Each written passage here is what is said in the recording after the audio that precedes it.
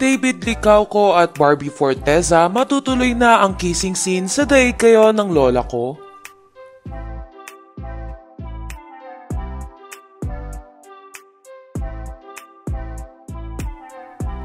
Usap-usapan ngayon ang latest poster na inilabas ng GMA Network tungkol sa paparating na bagong istorya ng fantasy series na daig kayo ng lola ko. Makikita nga sa nasabing promo pictures sina Barbie Forteza at David Licauco. Kaakibat ng kanilang mga pangalan sa gagawing series, makikita rin na bukod sa dalawa ang ibang cast na sina Zonia Mejia, Gillette Sandico, Boji Pasqua, Vince Maristella at Hannah Prisilas. Samantala, naglabas din ang Kapuso Network ng mga behind the scenes ng dalawa. Makikita sa nasabing behind the scene na hinahalikan ni Barbie Fortesa sa pisngi ang aktor na si David Licauco.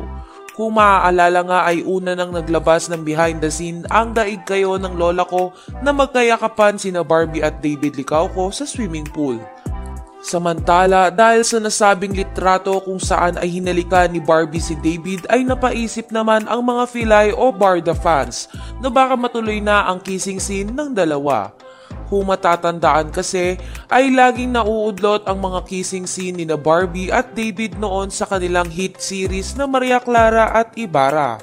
Sa kabilang banda ay narito ang mga reaksyon ng netizens sa kaunting pasilip ng GMA para sa paparating na fantasy series ni na Barbie Forteza at David Licauco sa Taig Kayo ng Lola Ko.